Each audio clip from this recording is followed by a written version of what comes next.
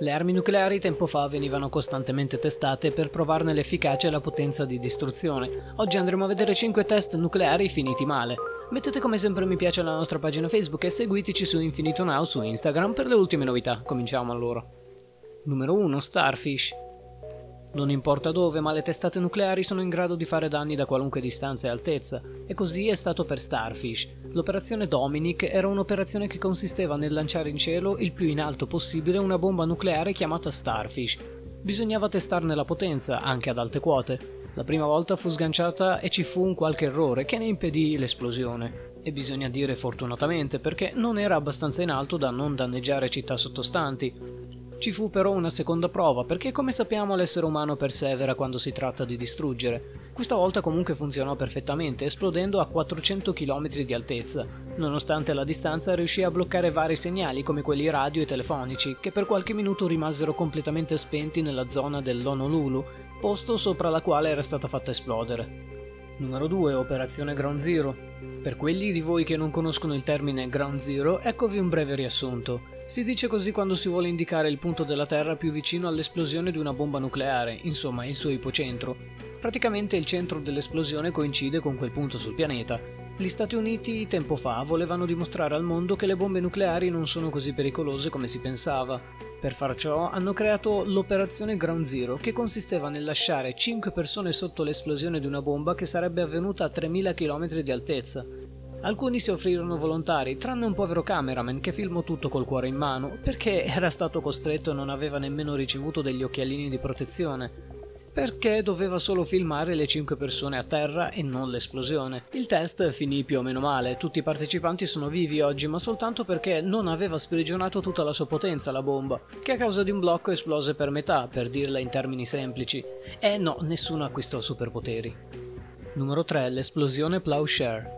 Sicuramente quando si tratta di imparare dai propri errori l'essere umano non è il migliore, questo possiamo capirlo dai vari test effettuati con il nucleare. Uno di questi si chiamava Operazione Plowshare, che consisteva nell'usare una bomba nucleare per creare un cratere che doveva servire a capire se si potevano usare questi strumenti per creare dighe, canali o porti o tante altre cose dove bisognava scavare buche.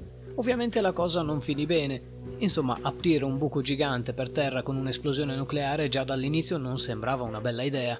Tutto ciò che successe fu un disastro. Le radiazioni cominciarono a propagarsi per più di mille chilometri di distanza.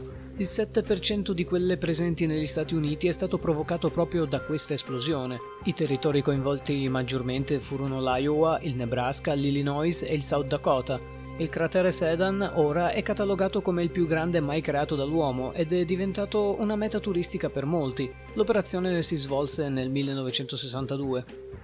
Numero 4. L'incidente in North Carolina. Il 23 gennaio 1961 un bombardiere B-52 dell'Air Force degli Stati Uniti aveva il compito di eseguire dei giri di routine intorno alle coste orientali.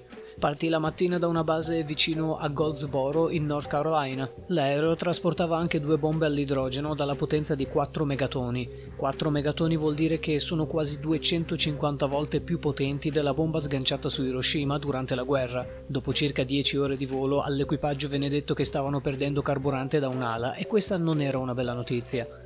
Mentre erano in volo decisero di svuotare i serbatoi in un oceano e far cadere il bombardiere dopo essere fuggiti coi paracadute. Il piano funzionò a metà perché sfortunatamente tre persone rimasero a bordo per completare la fuoriuscita del carburante. Ma la cosa più spaventosa furono le bombe a bordo. Una si schiantò insieme all'aereo senza esplodere, distruggendosi in modo innocuo. L'altra invece cadde in un campo vicino a un posto chiamato Faro, sempre in North Carolina. Durante la caduta si attivarono i meccanismi per innescare l'esplosione, ma non tutti fortunatamente, visto che il paracadute attaccato alla bomba si aprì rallentando nella caduta e arrestando il violento impatto che avrebbe avuto con il suolo.